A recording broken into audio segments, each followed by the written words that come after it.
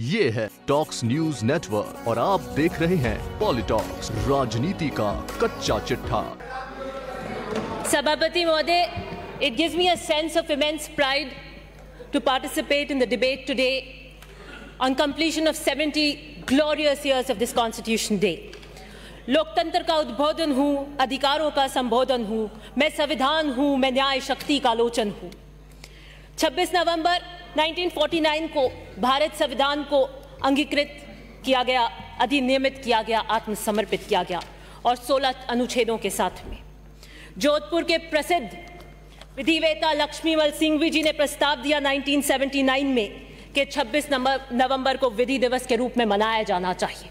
और 2015 में बाबा साहब अंबेडकर के 125वीं जन्म गांठ मनाने के ऊपर इसको संविधान दिवस में मनाया जा रहा है। बड़ी कठिन विषम परिस्थितियों में इस संविधान का निर्माण हुआ और आज 70 साल भी बाद भी ये किस तरीके से हमारे अधिकारों को प्रोटेक्ट और गारंटी करता है। 9 दिसंबर 1946 के अंदर ही सबसे पहली बार जब इसकी सब, संविधान सभा की बैठक होनी थी, तभी अंग्रेज़ों ने कह दिया था केस नहीं होगी।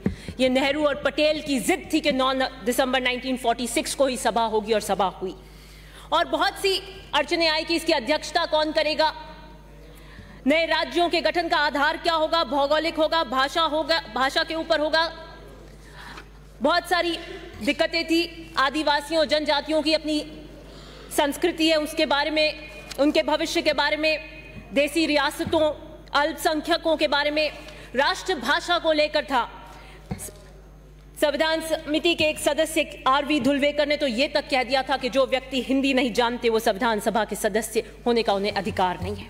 उन परिस्थितियों में से एक खूबसूरत दस्तावेज़ निकल कर आया। It's not a static document it's an organic document यह सदन और सरकार चलाने का दस्तावेज़ नहीं है। लोकतंत्र को सीचित करने में भी इसकी एक अहम भूमिका है। Constitution is not only a framework to conduct rule of law but it is a framework of way of life संविधान के अंदर कांग्रेस का जो योगदान है, उसे बात नहीं करेंगे तो यह चर्चा अधूरी रह जाएगी। 208 कांग्रेस के सदस्य थे, और बहुत सी बातें यहाँ कही गई कि कांग्रेस ने किसको टिकट दिया, किसको नहीं दिया, और क्या उनके कथन कहे गए। ग्रेवल ऑस्टिन के दो कथनों को, दो ट्रेजरी बेंचर्स के वरिष्ठ नेताओं ने उनके कथन को कहा कि वो एक सामाजिक दस्तावेज़ है। ग्रेवल ऑस्टिन की एक किताब है, Indian Constitution cornerstone of the nation. और उनमें वो कहते हैं, संविधान सभा का मतलब कांग्रेस और कांग्रेस का मतलब भारत। भारत सभी वर्गों का प्रतिनिधित्व कर रही थी। तीस ऐसे सदस्य थे जो कांग्रेस के टिकट पर कांग्रेस के नहीं होकर वहाँ पर आए थे। Krishna Swami Ayyar Hridaynath Kunzru N Gopala Swami Ayyangar doctor B R Ambedkar K Santhanam R A R M R Jayakar doctor Sachchidananda Sinha Shyama Prasad Mukherjee Harendra Kumar Mukherjee और आप हैं कि लोकतंत्र में अपनी आस्था की दुहाई देते हैं, छह वर्षों से विपक्ष के नेता का दर्जा नहीं दे रहे। Doctor Ambedkar I would like to take this opportunity to pay homage to this man who had wisdom and sensitive hearts in building this constitution today that guarantees us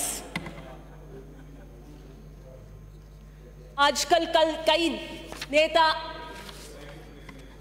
संविधान की चिंता जुबानी तौर पर तो करते हैं लेकिन जमीनी स्तर पर उनके विचारों को अधिक से अधिक खोखला बनाने की कोशिश करते हैं डॉक्टर अंबेडकर के कंसेंसस के कॉन्सेप्ट को हाशिए पे धकेलने की बात करते हैं। पार्टिसिपेटरी फॉर्म ऑफ़ डेमोक्रेसी और वो जो सपने संजोए गए थे, कहाँ हैं वो आज सब, वो सपने कहाँ गए हम देख सकते हैं। डॉक्टर अंबेडकर का एक कथन था कि भक्ति अगर इंसान भक्ति करे तो रूह जन्नत में चली जाए। लेकिन सियासत में भक्ति डिक्टेटरशिप की तरफ़ जाएगी, ये परिप्रेक्ष्य हमें देखने को मिलता है। Political dictatorship is dangerous for democracy Ambedkar कब कांग्रेस के टिकट पे आए, नहीं दिया, इसके बारे में बहुत कुछ कहा गया, उसका भी एक मैं इतिहास का उल्लेख करना चाहूँगी। बी एन राव जब इंग्लैंड गए आइवर जेनिंग्स जो कि ज्ञाता माने जाते थे कॉन्स्टिट्यूशंस के उन्होंने कहा कि भारत संविधान का निर्माण कर रहा है। आप हमें मार्गदर्शन दीजिए। तो जेनिंग्स ने मुस्कुराते हुए कहा कि पूरी दुनिया के संविधान के मास्टर तो आपके पास में भारत भारत में बैठे हैं और उन्होंने पूछा कौन? कि डॉक्टर बी आर अंबेडकर उन्होंने भारत आकर वापस ये बात डॉक्टर राजेंद्र प्रसाद को। बताई और तुरंत डॉक्टर राजेंद्र प्रसाद जी ने उस वक्त के मुंबई के प्रधानमंत्री बीजी खेर को लेटर लिखकर कहा कि मुंबई से संविधान सभा को रिक्त करवाया जाए। एम आर जयकर को इस्तीफा दिलवाया और कांग्रेस के टिकट पर डॉक्टर अंबेडकर को विधानसभा से सदस्य बनकर आए और बाद में ड्राफ्टिंग कमेटी के अध्यक्ष बने। वो संविधान के जनक और जननी दोनों के रूप में मैं उन्हें देखती हूँ। लेकिन पंडित जवाहरलाल नेहरू के योगदान को भी, की भी आज लोकतांत्रिक मूल्य और संविधान में एक अतुल्य भूमिका है। और स्पेशली जिस नाइन्थ शेड्यूल की मैं बात करना चाहूँगी कि अनेकों बार जहाँ से, अध्यक्षता से लेकर जो भी परिस्थितियों के अंदर आए, नेहरू का विजन था the vision of democracy vision of India was Nehru 13 दिसंबर 1946 को उन्होंने उद्देश्य का प्रस्ताव रखा। आगे चलकर यही उद्देश्य भारत की सिद्धांत के प्रस्तावना के आधार बने। 22 जुलाई 1947 को राष्ट्रीय ध्वज के रूप में तिरंगे को स्वीकार किया गया। और एक एक शब्द उनके भाषण का यह बताता है कि राष्ट्र के प्रति हमारी क्या भावना थी। 14 अगस्त 1947 को आज़ादी से पूर्व की संध्या पर जो उनका भाषण था टायरस विद डेस्टिनी वो बताता है कि हमारे भारत के अंदर हमारी क्या भावना थी। डॉक्टर राजेंद्र प्रसाद, सरदार पटेल, डॉक्टर अंबेडकर, सब साथ मिलकर उन्होंने समाधान किया। सबसे बड़ी समस्या उस वक्त थी, सामाजिक और आर्थिक न्याय की। 98 परसेंट भूमि, केवल 2 परसेंट लोगों पे थी भूमि सुधार की आवश्यकता थी, लेकिन उसको न्यायालय में चैलेंज किया जा सकता था। उस वक्त के कुछ विपक्षी दल, विपक्षी सोच के लोगों ने कहा कि यह अंतरिम संसद है, इसके अंदर संशोधन नहीं किया जा सकता। आप इंतज़ार करिए आम चुनाव का। That's the time Pandit Jawaharlal Nehru ने कहा, भारत की जनता ने बहुत इंतज़ार कर लिया, अब इंतज़ार नहीं कर सकती। That was the first and only amendment by the interim Parliament and the Ninth Schedule और भूमि सुधार को भी उसमें लाया, जो कि जुडिशियल रिव्यू से बाहर रखा गया। I would also like to remember Indira Gandhi ji, जिनका डेमोक्रेसी में अपनी एक आस्था थी। चौदह बैंकों के राष्ट्रीयकरण को उन्होंने किया। वो रुस्तम वर्सेस भारत संघ के अंदर चैलेंज हुआ और बाद में पच्चीसवें संशोधन और के साथ में उनको कॉन्स्टिट्यूशन में प्राथमिकता मिली। उन्हें कुछ उसी पच्चीसवें संशोधन के साथ में उन्होंने कुछ नीति निर्देशक तत्वों को मौलिक अधिकारों पर प्राथमिकता दी। उन्होंने राजा महाराजाओं के प्रिवी पर्सेस बंद किए, उनकी आस्था थी कि राजा और रंक में कोई फ़र्क नहीं होना चाहिए, सबको समान दृष्टि से समानता का अवसर मिलना चाहिए। चर्चिल ने कहा था कि भारत के लोकतंत्र दो दशक में समाप्त हो जाएगा, भारत के टुकड़े हो जाएँगे। लेकिन आज भी उन सबसे बना हुआ ये जीवांत डॉक्यूमेंट आज हमारे साथ में और आगे वाले हमेशा भारत को आगे विकास की टोर पर ले जाएगा। पैंतीसवें संशोधन के साथ इंदिरा गांधी जी ने सिक्किम और भारत को राज्य बनाया। छत्तीसवें संशोधन के साथ सिक्किम को विशेष प्रावधान दिए और बयालीसवें संशोधन के साथ में जो आज प्रधानमंत्री, मैंने देखी थी उनकी भाषण, उपराष्ट्रपति, राष्ट्रपति और उच्चतम न्यायालय के मुख्य न्यायाधीश सब आजकल जो मेन फोकस कर रहे हैं, वो कर्तव्यों पे कर रहे हैं, जो बाय फोर्टी सेकेंड संशोधन के द्वारा अनुच्छेद 51 ए से लेकर आए गए थे। क्यों आज हम इस डगर पर आ गए कि अधिकारों और कर्तव्य के अंदर संतुलन की चर्चा आज एक मुख्य चीज़ बन गई है। हम किस तरफ़ विचलित हो रहे हैं? क्या उसके कारण है? और अनेकों ऐतिहासिक संशोधन जो उन्होंने किए, जिसके साथ अनुच्छेद 39 ए, जहाँ सरकार समाज के कमज़ोर वर्ग के लिए निशुल्क न्याय और विधि सहायता की व्यवस्था करेगी। 43 ए, जहाँ राज्य उद्योगों के प्रबंधन में कार्मिकों की भागीदारी को सुनिश्चित करेगा। 48 ए, जहाँ दायित्व सुनिश्चित किया जाएगा राज्य के पर्यावरण में। भारत का संविधान दुनिया का सबसे खूबसूरत संविधान है। हर जाति, सांप्रदाय, धर्म, वर्गों को मिलाकर विविध और आकांक्षाओं को भारत का संविधान पूरा करता है। कॉन्सेप्ट ऑफ़ यूनिवर्सल वैसक मताधिकार का प्रावधान भी हमारे यहाँ पर किया गया।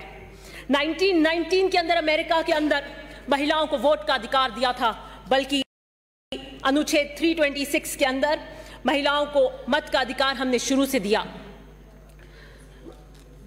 प्रधानमंत्री राजीव गांधी जी ने बाद में इस वोट के अधिकार की वर्ष 21 को 18 कर दी और युवा शक्ति के अंदर अपने विश्वास को बताते हुए झलकाया। आज हमें इस चर्चा को इस सदन से ग्राम पंचायत तक ले जाने की बात हो रही है।